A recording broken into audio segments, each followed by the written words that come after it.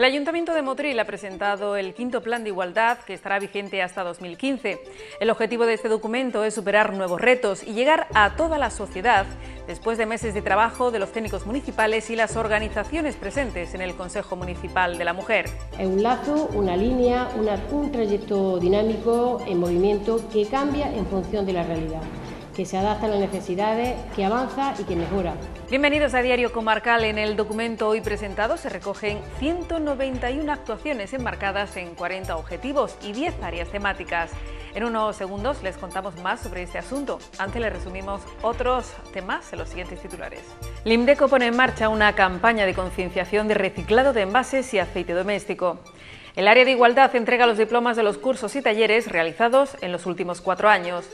La Junta Vecinal de la entidad local autónoma de Carchuna y Calahonda celebra un pleno ordinario. El área de educación organiza una lectura del libro Dragones en conserva de Milena Casanova.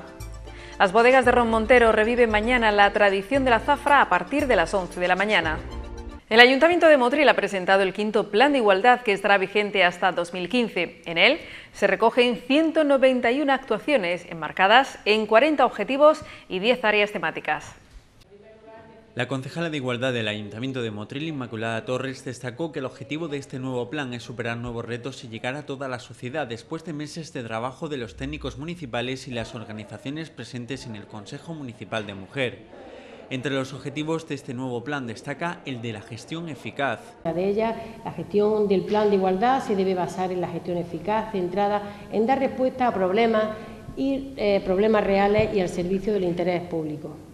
La libertad, debe asegurar que el ejercicio de la libertad en todas sus manifestaciones sea real para todos los ciudadanos y ciudadanas. Oportunidades, otro, otro principio orientador. Eh, solo, solo podremos tener una sociedad más justa si mejoramos la calidad de la educación y convertimos el mérito principal criterio de éxito y promoción social, eliminando esa barrera de género. Confianza, la confianza debe ser el motor para erradicar esas situaciones de desigualdad, para tener el convencimiento de que las cosas pueden y deben cambiar. Otro de los principios más significativos es el del diálogo. Tenemos que saber y transmitir eh, que el diálogo es el camino para alcanzar las mejores soluciones. Es necesario ampliar, es necesario tener amplios acuerdos, puntos de encuentro en todo ello que beneficie a los ciudadanos y ciudadanas. Solidaridad. Queremos una sociedad solidaria que no deje nunca al margen las necesidades de los demás. La cohesión. La diversidad debe ser un valor al servicio de la ciudadanía y no una ocasión para la división. Torres añadió que el plan se adapta a las necesidades actuales de una sociedad cambiante. Es un lazo, una línea, un trayecto dinámico en movimiento que cambia en función de la realidad, que se adapta a las necesidades, que avanza y que mejora. Y ya para terminar, solo Deseo que, os guste no solo el diseño, sino el contenido de, las materias que, vamos a poder desarrollar a lo largo de este año, de estos cuatro años, y bueno, esperando por supuesto contar con vuestra participación, además de todos aquellos que no están aquí hoy que también van a seguir participando. Teresa Álvarez, diseñadora gráfica y presidenta de la Asociación de Mujeres Empresarias EMAS, ha sido la encargada de realizar el diseño del plan, del que destaca que facilita el desarrollo económico con facilidades al autoempleo y que es una herramienta necesaria para seguir avanzando en el camino de la igualdad de oportunidades que la empresaria no es solo una mujer que trabaja, también es una mujer que vive en su casa, que tiene una familia, que tiene que conciliar la vida laboral con la vida familiar y que mm, voy viendo, según voy trabajando en el diseño estético del plan, que cada una de esas áreas de actuación le afectan a la empresaria. Es un plan completo, es un plan muy, muy práctico, muy de cada día, mm, que va a poner eh, en, actuación una serie de objetivos que son fundamentales dentro de la sociedad en la que actualmente vivimos y que es completamente necesario para que sigamos avanzando por el camino de la igualdad. La empresa municipal de limpieza Limdeco ha puesto en marcha una campaña de concienciación de reciclado de envases y aceite doméstico que llevará a cabo a través de su aula didáctica. El presidente del Consejo de Administración Limdeco, José García Fuentes, ha participado esta mañana en esta campaña que situaba un expositor a las puertas del mercado municipal, donde se ha referido a la importancia de tomar parte activa en el reciclado de los residuos urbanos. Eh, la campaña en general se basa sobre el reciclado y específicamente vamos a hablar de, los envases, porque bueno, pues estamos teniendo algún problema con el conocimiento por parte de la población que qué se debe y qué no se debe incluir en ese contenedor amarillo y al final eso cuando se lleva a la, planta estamos teniendo algún tipo de problemas con la empresa que incluso ponen sanciones económicas si no se lleva el reciclado correctamente. De ahí la importancia que en este folleto vamos a aclarar exactamente eh, qué materiales son los que se deben de tirar en el contenedor amarillo y cuáles no. La campaña despliega medio centenar de banderolas repartidas por distintos puntos de la ciudad, junto a los anuncios realizados en los medios de comunicación, a los que ahora se suman los expositores que cada viernes se montarán entre las diez y media de la mañana y la una y media de la tarde por diferentes calles y plazas del municipio, donde se informará a los ciudadanos de manera cercana y personalizada sobre la separación de los envases en su contenedor correspondiente.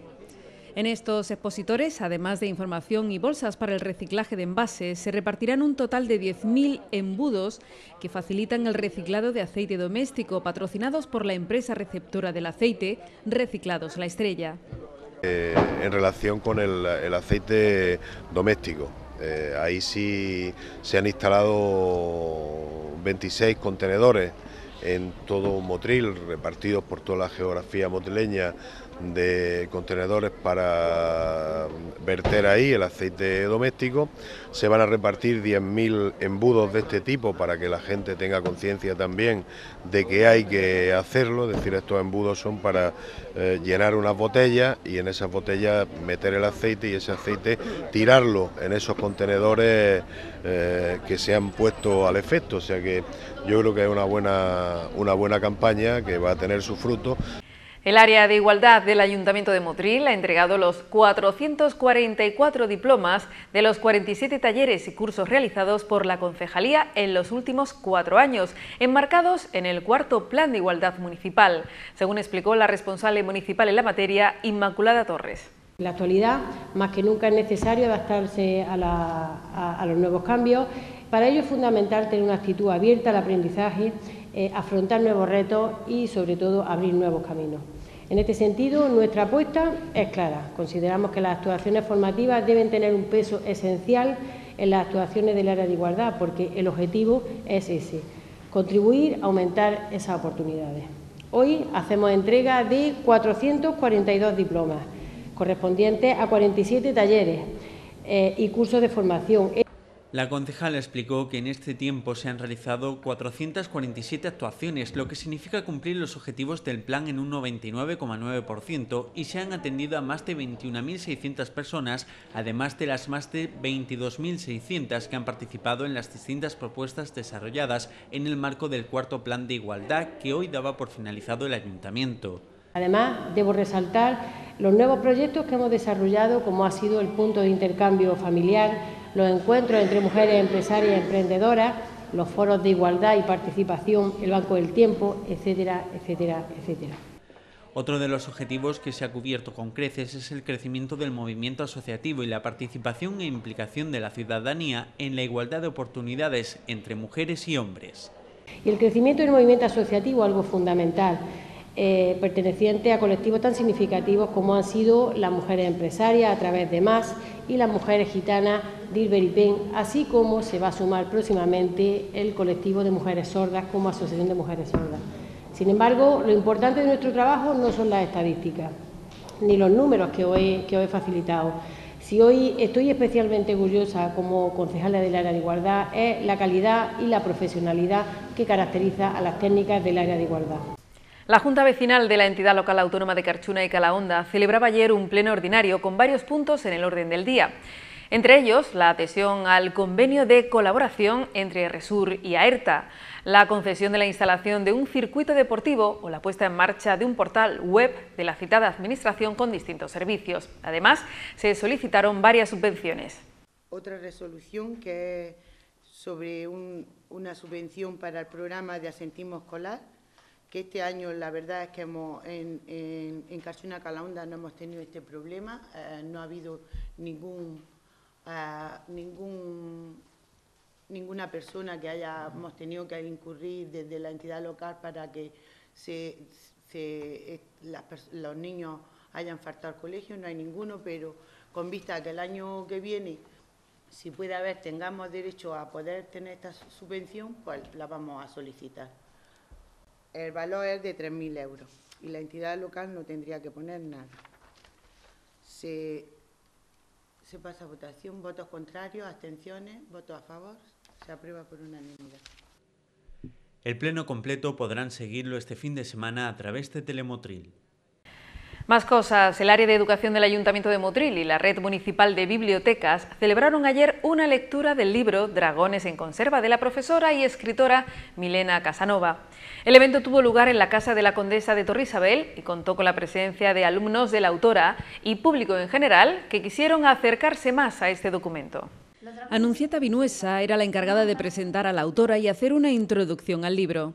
Los dragones en conserva forman parte de las manufacturas que no tienen fecha de caducidad, apto para todas las edades y para todos los gustos, ni dulce ni salado, ni agridulce, sencillamente sabe a dragón. Si abrimos un bote de dragones en conserva, percibimos lo mismo que Merlín el encantador cuando levantó su espada. Entonces dejaremos dormir en la cuna del hombre que la mece en los cuentos, como nos decía León Felipe, y nos dejaremos arrastrar a los territorios donde acuden los contadores de cuentos, los escritores de cuentos y los escuchadores de cuentos. Milenia Casanova explicó que el libro lo escribió hace 19 años por necesidad cuando llegó a dar clase a Orce. Yo llegué a un pueblo que se llama Orce a trabajar de maestra y allí tenían gran afección por el teatro, es un pueblo muy pequeñito de 2.000 habitantes, allí donde está el homínido más antiguo del mundo, donde se encontró. Y en ese, pueblo había un festival de teatro todos los años, donde todos los cursos participaban haciendo una obra de teatro. Entonces yo daba clases en infantil y lo primero que hice fue buscarme una, librería, en Granada, claro, allí no había librería, y intentar buscar obras de teatro para niños. Pero todas eran demasiado, con, con demasiados pocos personajes, no era una coral como yo la quería, yo quería que participaran todos los alumnos, no solo los rubios con ojos azules, también todos los listos, los menos listos, los más maduros. Y como no encontré nada, pues me puse y la escribí directamente. Tengo afición por escribir de toda la vida, así que el texto este tiene 19 años. La autora leyó un fragmento del libro. Repámpanos de verde uva, hojita de hierbabuena, ¿qué haré yo en esta mazmorra atado de una cadena? Rey mío, tallo de acelga, patoso de noble cuna, libérame de este encierro antes que salga la luna. Corazón de los captores, duro hueso de aceituna, han dejado a mi buen padre más solito que la una.